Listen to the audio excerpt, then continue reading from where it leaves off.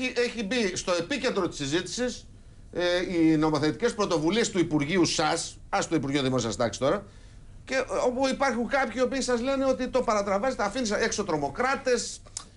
Ε, δεν ξέρετε τη συζήτηση πάρα πολύ καλά. Ε, φυσικά. Για πείτε μας επ' αυτού να κουβεντιάσουμε λίγο. Εσείς λέτε ότι δεν κάνετε φωτογραφικές διατάξεις και ότι είναι ανθρωπιστική η, η, η παρέμβασή σας. Αυτό λέτε, έτσι. Βεβαίως. Και ε, είναι χαρακτηριστικό ότι η παρέμβασή μας, δηλαδή η πρωτοβουλία του ε, Υπουργείου Δικαιοσύνης ουσιαστικά ξεκίνησε από την ε, αρχή της θητείας αυτής της κυβέρνησης με τις προγραμματικές μου δηλώσεις πριν ακολουθήσει μια ευρεία συζήτηση και κάποιες αντιδράσεις τις οποίες είχαμε μέσα στον χώρο της φυλακής. Γιατί ε, ξεκινάμε αυτό το νομοθέτημα, διότι αφορά πολύ επίγοντα θέματα. Αφορά την κατάσταση μέσα στις φυλακές, η οποία είναι εξαιρετικά προβληματική, υπογραμμίζω το εξαιρετικά, και από άποψη συμφόρησης, αλλά και από άποψη συνθήκων σε ορισμένους τουλάχιστον χώρους της φυλακής. Το αποθήκη ψυχών που λέγαμε παλιά για τις φυλακές είναι λίγο. Είναι λίγο το αποθήκη ψυχών ή κάτι χειρότερο. είναι κόλαση. Ε, κοιτάξτε, δεν θέλω να, να αδικήσω τους ανθρώπους που βρίσκονται μέσα στη φυλακή με ιδιότητα υπαλλήλου δεν την κάνουν την κόλαση οι υπάλληλοι, ε, τη ζουν την ίδια κόλαση και αυτοί. Είναι όπως το λέτε. Έχετε δίκιο. Είναι ακριβώς όπως το λέτε. Αλλά το θέμα μας φάνηκε επίγον για το γεγονός ότι έχουμε μέχρι τώρα πολλές καταδίκες από το Ευρωπαϊκό Δικαστήριο με το άρθρο 3, δηλαδή για απάνθρωπη ή εξευτελιστική μεταχείριση, που αφορούν τις συνθήκες των φυλακών μας. Ναι. Πέρα από το γεγονός ότι πληρώνουμε κάποια δύο νομίζω εκατομμύρια μέχρι τώρα για αυτές τις ε, καταδίκες έχουμε και ένα φάσμα εκκρεμών υποθέσεων το οποίο είναι πολλαπλάσιο του αριθμού των καταδικών που έχουμε μέχρι σήμερα. Θα έπρεπε όμως να μην μας ενδιαφέρει πρώτιστα ούτε η διεθνής καταδίκη από το Ευρωπαϊκό Δικαστήριο ούτε το οικονομικό κόστος αυτών των καταδικών για αυτής της κατάστασης, αλλά μας ενδιαφέρει η ίδια η κατάσταση η οποία είναι αφόρητη μέσα στις φυλακές. Το Υπουργείο Δικαιοσύνης ενδιαφέρεται και γι' αυτό ξεκίνησε έγκαιρα. Αν τα λεφτά για τα πρόστιμα, κύριε Υπουργέ, είχαν πάει; Για να υπάρχουν ε, σύγχρονα σοφρονιστήρια και όχι την, με την έννοια αυτή για την οποία συζητάμε μέχρι σήμερα, τα πράγματα θα ήταν διαφορετικά. Και μαζί με αυτό η αποφυλάκηση είναι ο καλύτερος τρόπος να αντιμετωπιστούν οι κακές συνθήκες μέσα στη φυλακή, κύριε Υπουργέ; Ε, αποσυμφόρηση όμως χρειάζεται. Αποσυμφόρηση χρειάζεται στο σπίτι τους, στην, στην κοινωνία. Δηλαδή τα δικαιώματα των φυλακισμένων τα καταλαβαίνω. Τα δικαιώματα της κοινωνίας να προστατεύεται από ανθρώπους οι οποίοι βαρύνονται με σοβαρά εγκλήματα. Ε, θα τα συζητήσει κανείς. Πού το ξέρετε αυτό, πού το γνωρίζετε; Πού το γνωρίζετε, πώς το γνωρίζετε ακριβώς αυτό; Αλλά, άρα πώς μπορεί να γίνει; Ε, τώρα να τους δείξουν Κοιτάξτε, ένα μέρος του προβλήματο. Θα την απάντηση του Υπουργού επ' αυτού. Ναι. Κοιτάξτε, ένα μέρος του προβλήματος οπωσδήποτε είναι η συμφόρηση. Και πρέπει να έχουμε υπόψη μας ότι αν εξαιρέσουμε τους λίγους ισοβίτε στους οποίους δεν θα δοθεί ποτέ απόλυση, όλοι οι άλλοι κάποια μέρα βγαίνουν από τη φυλακή.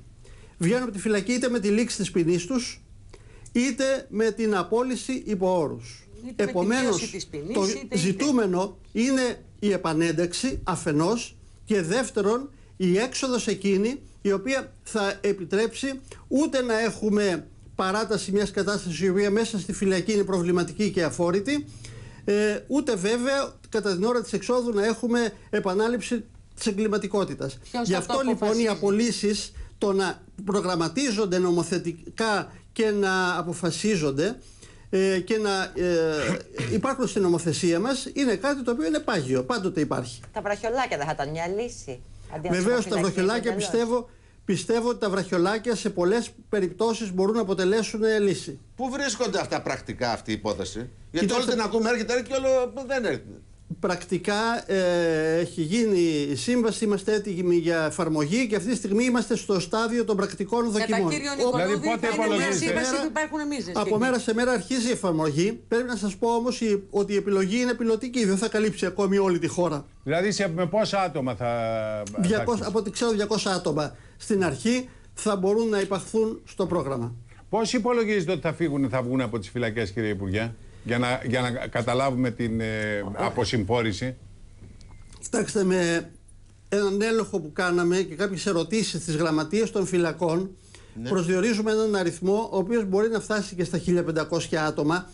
Προσωπικά όμως πιστεύω ότι ο αριθμός θα είναι μικρότερος διότι όταν αδειάζουν κελιά στις φυλακές πολλές φορές ε, γίνονται εισαγωγές από άλλους χώρους κράτησης, δηλαδή αστυνομικά τμήματα και έτσι Ε, κάποια θα- θα παρακάρι βρεθούμε- πάλι. Θα βρεθούμε στα κελιά ίδια πάλι. ξαναγεμίζουν. Να Θα σα βρεθούμε ρωτήσω στα κάτι ίδια πάλι. ευαίσθητο, αν μου επιτρέπετε. Εγώ τον είδα, το, είδα την πρόταση του νομοσχεδίου. Για παράδειγμα, για τους χρήστες υπάρχουν επίοικείς διατάξεις ε, για να βγουν άνθρωποι οι οποίοι. Ναι. Προσέξτε όμως, είδα τις προϋποθέσεις. Πάρα πολλές από αυτές τις περιπτώσεις είναι προϋποθέσεις να ακολουθηθεί θεραπεία, να μπουν. Που με τι μέσα; Πού θα πάνε κύριε Υπουργέ; Γι' αυτό έλεγα ότι σας το είπα και προχθές που μιλούσαμε στον αέρα. Χρειάζεται πολύ μεγάλη συζήτηση, εντονότατη ακρόαση φορέων. Αυτά τα πράγματα. Δηλαδή, εντάξει, να αφαιθεί υπό την προπόθεση ότι δεν θα ξαναγυρίσει, υπό την προπόθεση ότι λείπουν οι προποθέσει. Ότι δεν μπορεί να πάει στη μεταδόνη γιατί είναι φρακαρισμένο. αυτή τη για στιγμή παράδειγμα. δεν υπάρχουν προγράμματα, δεν υπάρχουν χρήματα. Κλείνουν χώροι. Δεν Να θα, σας βγαίνει απαντήσω. πάλι, θα βγαίνει πάλι δηλαδή ένας ο οποίος έχει χρήματα να πάει σε μια ιδιωτική κλινική. Να σας απαντήσω. Ναι. Ε, ειδικά στο θέμα των ναρκωτικών, οι ρυθμίσεις τις οποίες διαβάζετε στην ουσία δεν ε, αποτελούν καινοτομίες. Το ξέρω. Αλλά απλώς ε, ρυθμίσεις οι οποίες διευκολύνουν την εφαρμογή μιας νομοθεσίας η οποία προϋπήρχε και το, το νόμο 4139. Τώρα, ως προς την έλλειψη Από τότε μέχρι υποδομής- σήμερα εξακολουθούν να υπάρχουν οι ελλείψεις, αυτό λέω. ε, δεν θα συμφωνήσω μαζί σας. Νομίζω ότι στο πλαίσιο του σοφρονικού συστήματος ε, λειτουργούν οργανισμοί οι οποίοι προσφέρουν τις υπηρεσίες τους οι οποίοι είναι αξιόπιστοι. Ο ΚΑΝΑ, το ΚΕΘΕΑ, ε, τα δύο ψυχιατρία και έχει και φυλακή μια δομή δική της που αποτελούν μια υποδομή που μπορεί να στηρίξει σε πρώτη φάση προγράμματα ψυχο... προπαρασκευής της απεξάρτησης μέσα στη φυλακή με ψυχολογικά μέσα. Αναπτύσσονται αυτή τη στιγμή ανάλογες δράσεις σε 19 φυλακές της χώρας. Ναι, αλλά 20... λείπει, λείπει προσωπικό. Γι' αυτό πρέπει να Εντάξει. γίνουν προσλήψεις, λείπουν, λείπουν, λείπουν. χρήματα. Λείπει. Αυτό λέω. Δηλαδή αυτά Προσέξτε, να... φυλακτικό προσωπικό πραγματικά λείπει. Αλλά οι υπηρεσίες απεξάρτησης μέσα στις φυλακές προσφέρονται Για από έξω σου λέει, Υπουργέ οργανισμούς μου, έξω σου λέει. Σου λέει ότι η Τότε προπόθεση να- για να τον αφήσεις να είναι να περάσω πάρεις ένα και αυτό. στο Έξω έξω. δεν δουλεύει τίποτε, οπότε δεν τον αφήσεις. Δηλαδή, ο άλλο Κανά που είναι σαν φύγαμε. κάγκελα εδώ και πολύ μεγάλο Οφείλουμε όμως χρονικό κύριε διάστημα. Εντάξει, Καπουράκη εντάξει, να, να βελτιώσουμε αλήθεια. την κατάσταση, Αλήθεια, δεν- να, Μπορώ να Αυτό είναι απαντήσω. αναπτύξουμε καλοπροαίρετη τα κριτική. προγράμματα και να το Καλοπροαίρετη, κάνουμε. καλοπροαίρετη Με τους κριτική είναι. τρομοκράτε τι θα Αυτό δεν γίνει, σημαίνει. κύριε Υπουργέ, Ναι, ναι. ακριβώς; Για Με τους πείτε μας. τρομοκράτες, για Λοιπόν, πείτε να μας. απαντήσω. Ε, τα προγράμματα τα οποία θα εξελιχθούν μέσα στη φυλακή ως προπαρασκευαστικά θα οδηγούν σε μία απόλυση υπό όρους, μετά από την οποία θα οδηγούνται οι απολυόμενοι εξαρτημένοι κρατούμενοι και τους λέω εξαρτημένους γιατί και μετά την προπαρασκευαστική αυτή διαδικασία μέσα στη φυλακή, την ψυχολογική, δεν θα έχουν πάψει πλήρως να είναι εξαρτημένοι. Συμφωνούμε θα απολύτως οδηγούνται με αυτά τα στις μέτρα. δομές, θα οδηγούνται στις δομές τις οποίες γνωρίζουμε. Δηλαδή, τις θεραπευτικές κοινότητες του ΚΕΘΕΑ, Ωραία. σε δομές του ΟΚΑΝΑ, των ψυχιατρίων, απαντήστε, έχουμε Υπουργέ μου, δηλαδή Υπουργέ χώρους μου. υποδοχής Ε, εκτός τελευταία φυλακής. ερώτηση από Για κυρία απάντηση Λιμπεράκη. κυρία Λιμπεράκη. Ναι. Με τους, ε, με τους τρομοκράτες ήθελα να σας ρωτήσω, σε ποια που δεν ε, τίθεται θέμα απεξάρτησης με την ίδια σαφήνεια, πώς ακριβώς σκοπεύετε να δείτε το θέμα των αποφυλακήσεων. Ε, γιατί η αίσθηση που έχουμε είναι ότι υπάρχουν κάποιες φωτογραφικές διατάξεις που ε, χωράνε πάρα πολύ καλά κάποιους τρομοκράτες, ενώ αντιθέτως δεν χωράνε άλλους ποινικούς όπως η κυρία Σταμάτη ας πούμε. Λοιπόν, ε, να σας πω, οι διατάξεις που βρίσκονται στο νομοσχέδιο δεν είναι καθόλου φωτογραφικές και αυτό φαίνεται από το γεγονός ότι οι κατηγορίες που προσδιορίζονται για την απόλυση κα- ε, προσδιορίζονται με κριτήρια βαρύτητας ποινής και ανεξαρτήτως εγκλήματος. Η Ένωση Αγγελέων πάντως είχε δημιουργήσει, είχε ε, ε, διατυπώσει την ένσταση ότι με το να ε, διευκολύνεται πάρα πολύ η έξοδος των ανθρώπων από τις φυλακές με βάση τις ποινές τους θα δημιουργήσει, για να αποφευχθεί το να κυκλοφορούν ανάμεσά μας ε, επικίνδυνοι άνθρωποι, θα δημιουργήσει ένα, μια τάση στα δικαστήρια να βάζουν υψηλότερες ποινές έτσι ώστε να μην βγαίνουν με την ίδια ευκολία προς τα έξω. Επ' αυτού, εγώ αναρωτιέμαι ποια είναι η στάση του Υπουργείου.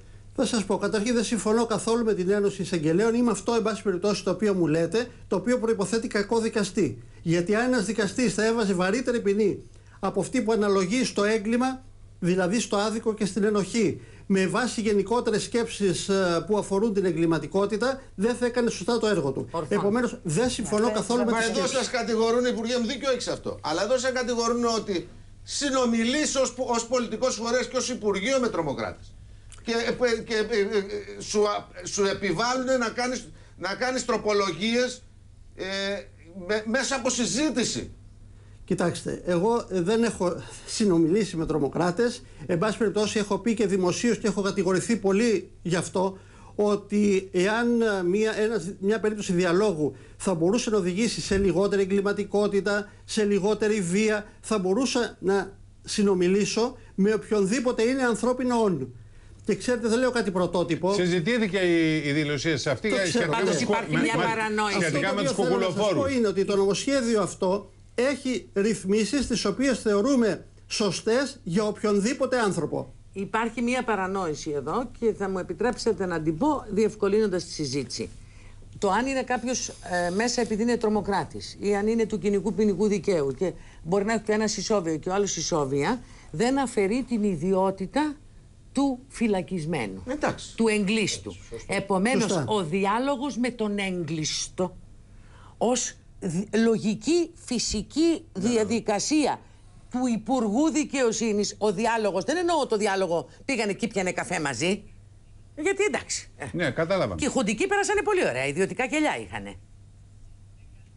Μάλιστα. Για να θυμόμαστε. επιτρέψτε μου να πω Για να κάτι. θυμόμαστε Για να μην ιδιαίτερες αφήνονται μεταχειρήσει. παρανοήσεις. Ναι, ναι, ναι, ναι. Για να, Σε και, και να σχέση- έχουμε και ένα VIP. Για να τελειώσω μόνο αυτή τη φράση. Ε, Πάντως, Επο- εγώ θυμάμαι Όχι, σπουδαίους επειδή πρέπει αντιστασιακού πριν φύγει ο που είχαν κάνει ολόκληρο κίνημα να απελευθερωθούν οι χουντικοί. Μα κάποτε στην Ελλάδα Που ήταν πολύ καταστρέψαν την δημοκρατικό Ελλάδα. να σπάς πέτρες στη Γιάρο μέχρι το, μέχρι το τέλος του βίου σου. Επομένως, μην πάμε εκεί τώρα. Μην πάμε εκεί γιατί θα το ανοίξουμε δρόμους για να πάμε ε, προς τα εκεί. επιτρέψτε μου Η να πω έννοια κάτι. όμως Να του το πω, κρατούμενου επειδή δεν πάει με, αφήνονται- πάει με την επειδή- ποινή. Δεν πάει με το είδος του αδικήματος. Πάει με την Επειδή ποινή. Αφήνονται εντυπώσεις ότι η αλλαγή έγινε για λόγους σχέσεων ανάμεσα στους υπουργούς. Ε, Γνωρίζω πολύ καλά και ήταν συζήτησή μας και στην προηγούμενη κοινοβουλευτική περίοδο και τελευταίο καιρό ότι υπήρχε ένας διάλογος μέσα στο ΣΥΡΙΖΑ πώς Πού θα είναι ενταγμένο το το δημόσιο Υπουργείο Προστασίας του Πολίτη, αν πρέπει να είναι ενταγμένο στο Υπουργείο Δικαιοσύνης. Δεν είναι, δεν είναι α- αυ- ότι λήφθηκε Έγινε η τώρα. απόφαση τώρα. Εντάξει. Και αυτό ξεκινάει από ποια, Ναι, αλλά από ήρθε ποια και αυτό αρχή. το άρθρο. Αυτό, με, σ- με συγχωρείτε, αυτό ξεκινάει από ποια αρχή. Ότι η- το αίσθημα της ασφάλειας των πολιτών σε καμία περίπτωση δεν πρέπει να παραβιάζει τα, δημ- τα ατομικά, κοινωνικά και πολιτικά δικαιώματα των πολιτών. Ωραία,